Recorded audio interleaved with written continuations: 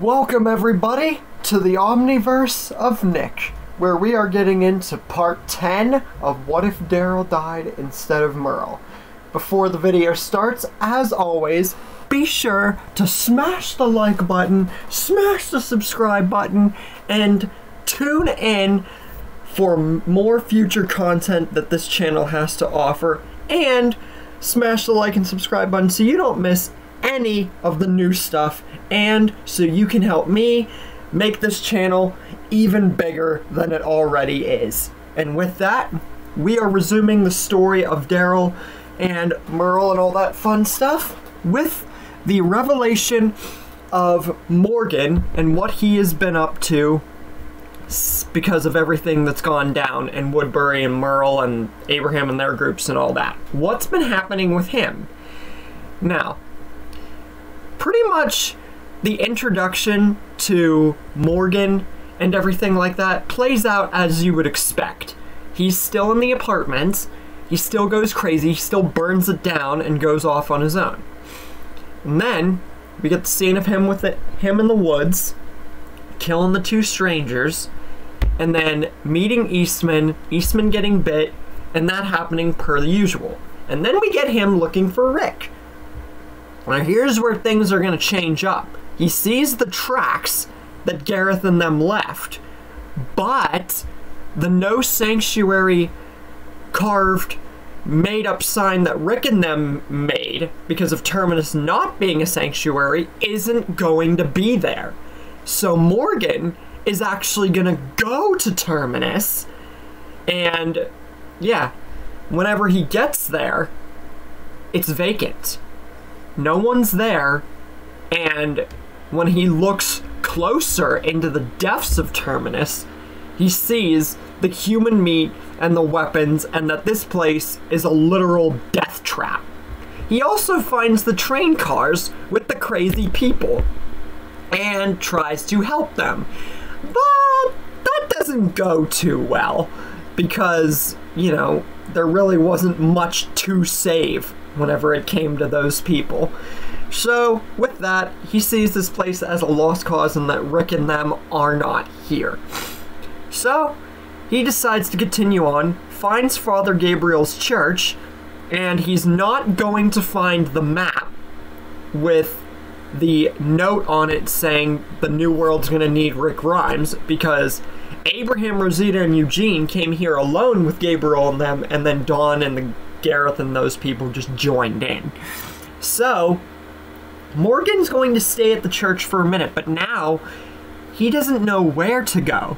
He doesn't know whether to press onwards to a, just keep looking in random locations or to just maybe give up. But then he remembers what Rick told him very vividly or smallly, you know. He remembers Rick talking about a prison.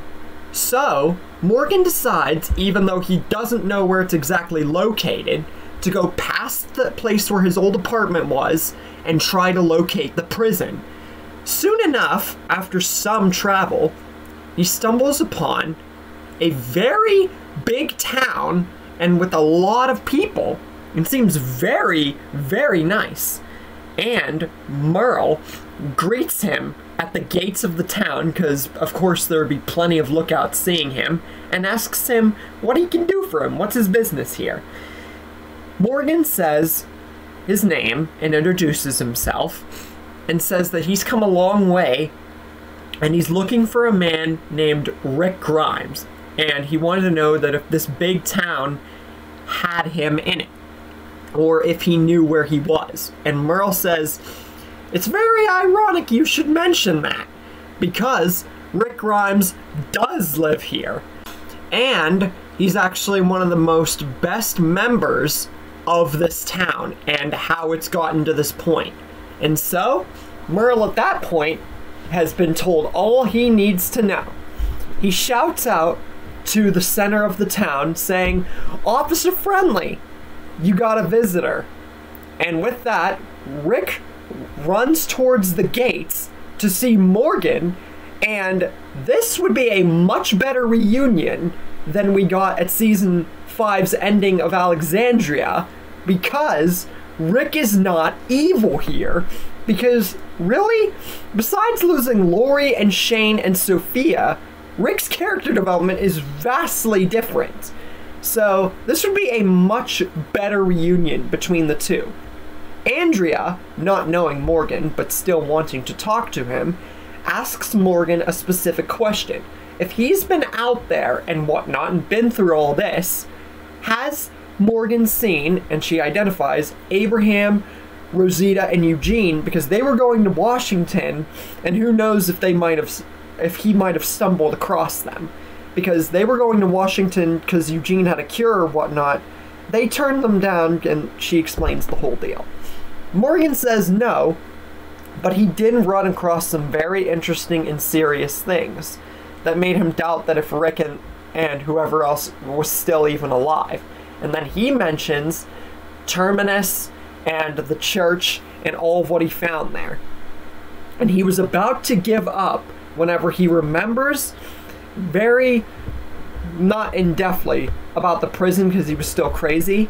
So he decided to try and go that route and he guessed that it was very lucky that he came across this town because he's guessing that this is what Rick was talking about winning a battle or something. And Merle would explain this in more in depth and say that he must have meant about the governor and being in battle with him. And it's all thanks to Merle here that they were able to win this fight.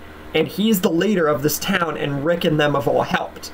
And Morgan is more than welcome to stay since him and Rick are friends.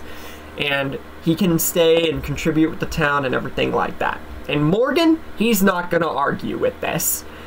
He's not going to get an axe from Michonne or anything like that, but I think that the best that we can give Morgan around this point, since he's still a pacifist, is make his stick more durable and much better whenever it comes to combat. He was already a boss with the stick. I'm just talking like the best we can give him with that aspect.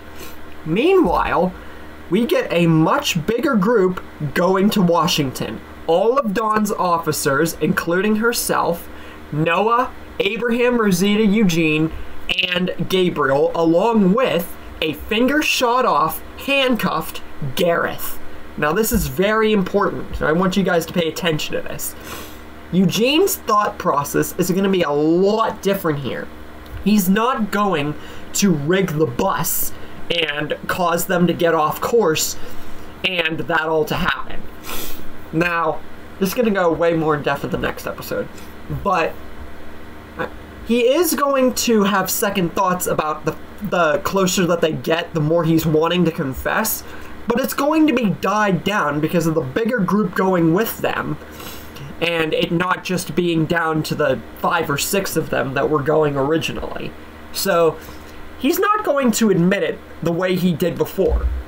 Specifically, this scene where Abraham and them would originally be standing at that big, huge horde like in front of them, but with a much bigger group. When they stop, it's going to be a lot different to how they manage it. Now, how will Dawn, Abraham, and Gareth and all these new characters handle getting through this horde and getting to Washington? Now that Morgan's at Woodbury and all these changes have happened, how will this go into finding Abraham and them in the future, or will they at all?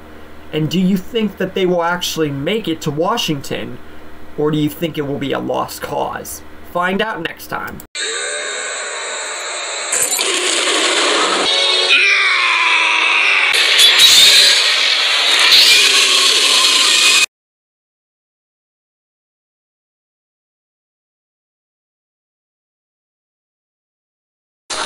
Guys didn't think this was the end of the video, did you?